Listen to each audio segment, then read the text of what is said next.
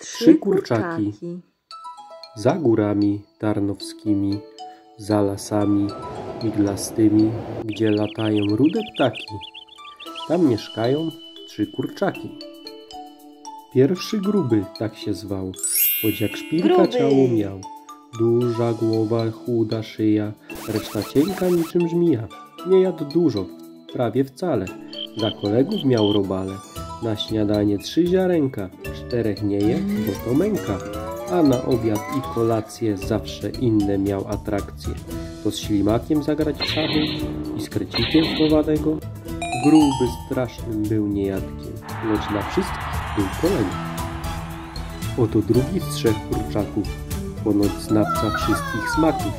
Jadł już wszystko co jadalne, dania zwykłe i normalne, jak i również rarytasy, to szaszłyki, to kiełbasy, pomarańcze, ananasy.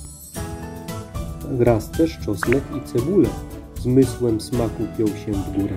Jadł normalnie i na czas, więc na imię miał w sam raz. Sam raz. Przy czym mężną miał figurę, dobrze znany i lubiany, schludny i wysportowany, czuły dość jak na ptaka. Umiał śmiać się, jak i płakać.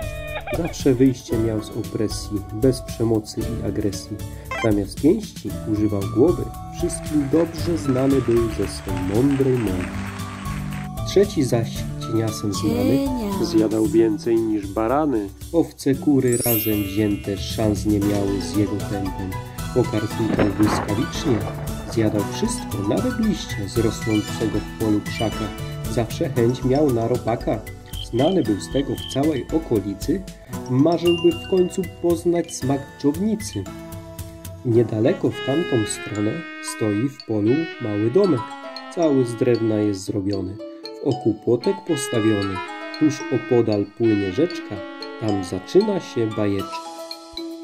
Wzeszło słońce, wstaje ranek, czyli pora na śniadanie. Kogut jeje wszystkich budzi. I zwierzęta, ludzi, Halo? stają także trzy kurczaki, każdy tempem różnoraki. Sam raz szybko, bardzo żwawo, gruby rusza się niemrawo. Cienias nadal leży w sianku i rozmyśla o śniadanku. Sam raz już posiłek trawi, gruby znów się jedzeniem bawi. Pierwsze ziarnko na trzy razy, drugie na bok, bo ma skazy. Trzecim gdzieś do kąta pstryknie, no to mu sprzed oczu zniknie. Cienias ruszył się z posłania i zabiera do śniadania. Wszystko bardzo szybko znika, szary mary jak u magika. Mija chwila, już nic nie ma, wiecznie mu mało jedzenia. Westchnął tylko i poszedł leżeć, by rozmyślać o obiedzie. Nie minęły z dwie godziny, cienias już miał odleżyny. Postanowił wejść na łąkę, by przekąsić jakąś stonkę. Chodził, szukał minut parę, spacer wielkim był ciężarem. A że strasznie był zmęczony, usiadł sobie przy jabłoni, gdzie go cień przed słońcem chroni. I na chwilę zamknął oczy, sen od razu go otoczył. Spał godzinę, może z dwie, nagle z miejsca zerwał się. Coś na ziemię z hukiem padło, a to z drzewa jabłko spadło. Sam nie wierząc własnym oczom, zbliżać się powoli zaczął. Czy to sen, a ta Morgana? Jeśli tak, to chce spać tak do rana. Dotarł wreszcie do jabłuszka, z szczęścia trzęsły mu się udka. Wielki kęs wziął post do brzuszka. Postał chwilę, to nie trudka, więc rozchylił swego dzióbka. Już miał ugryźć po raz drugi, a tu jabłko Hops. tańczy ługi-bugi. Z lewej strony hops na prawą, trochę w tył, a potem w przód. Cienias patrzy, toż to cud. Jabłko słodkie niczym miód, skacze sobie jak zajączek, złapię je, to wnet dokończę. I tak będziesz moją strawą, czy zwyczajnie, czy z zabawą.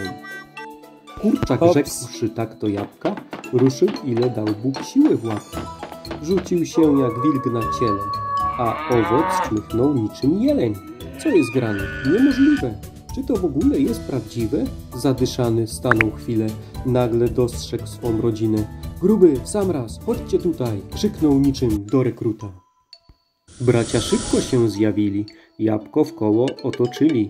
Cienias objaśnił im sprawę i zaczęli swą zabawę. Każdy poszedł z innej strony, owoc był już osaczony. Cienias wgryzał się łapczywie, sam raz delektuje smakiem. Gruby nawet nie spróbował, tylko się za jabłkiem schował. Nagle jabłkiem coś zaczęło Przestraszyły się kurczaki, trójka braci się cofnęła. O trzy kroki, tak jak raki. Spod ogonka owocu tego wychyliła się mała główka, po czym reszta Hopsi. ciała wyszła, różowiutka jak parówka. To dżownica jabłkiem częsła, niczym Pan Bóg ziemią rusza. Cienias uśmiechnął się szczerze i rzekł oczom swym nie wierzę. To spełnienie moich marzeń, końcu będzie mi to dane. Zasmakuje rarytasu i popije go szampanem. Tę dżownica się wzburzyła, What? niczym może podczas sztormu. Czemu zjadasz dom mój powiedz? Czy dla głodu, czy dla sportu? Cienias stanął niczym kamień, jak spojrzał na bazyliszka. Spełnienie marzeń było daleko, ale patrzył na nie z bliska. Ja nie domu Twego pragnę, lecz spróbować smaku Twego ciała i nie przeszkodzi mi nikt w tym, nawet jeśli by cała ziemia drżała.